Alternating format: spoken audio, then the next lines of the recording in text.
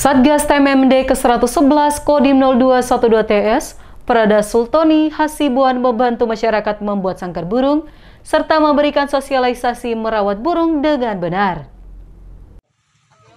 Satgas TMMD ke-111 Kodim 0212 diharuskan bukan hanya lincah di bidang peperangan, namun juga di segala bidang kemasyarakatan. Seperti yang dilakukan Prada Sultani Hasibuan dengan lincahnya dia membantu masyarakat dalam membuat sangkar burung. Tidak itu saja, dirinya juga memberi sosialisasi bagaimana cara merawat burung dengan baik yang nantinya menghasilkan burung yang berkualitas sehat dan berbunyi merdu.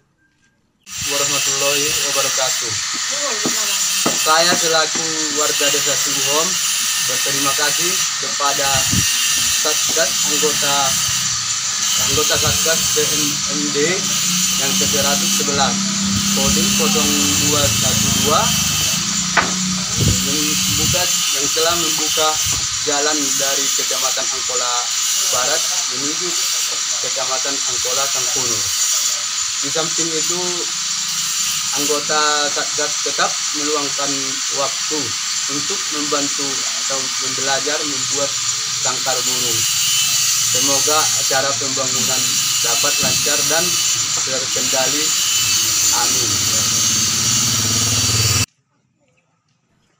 Nampak Saiful Amri, pemilik burung serta anak-anaknya merasa gembira ada tentara yang ikut dalam kegiatan memelihara burung. Dia mengatakan bahwa dengan adanya Satgas TMMD yang masuk ke desa Sihom, Kecamatan Angkola Barat, Taparuli Selatan ini, warga desa sangat terbantu. Bukan hanya dalam pembukaan jalan, namun dalam segala hal. Contoh saat ini, para prajurit Satgas membantu dirinya membuat kandang atau sangkar burung.